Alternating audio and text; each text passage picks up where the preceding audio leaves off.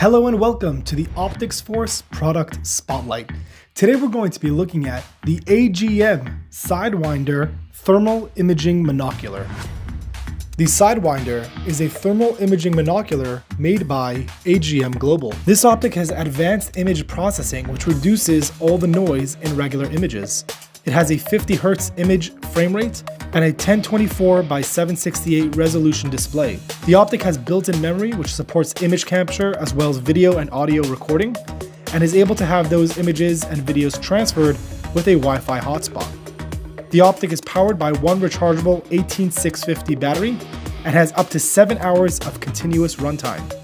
The optic body is also waterproof and shockproof, which allows you to use this in rainy conditions. On the left side of the optic is the lockable battery case, which ensures the battery stays in place during heavy use.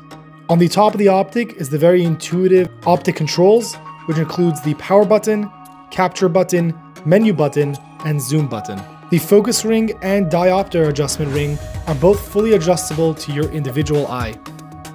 The optic also comes with a lens cap to prevent scratches on the lens. Included in the box is a hard case, user manual, soft case, extra batteries, and charger. This optic and many more could be found at opticsforce.com.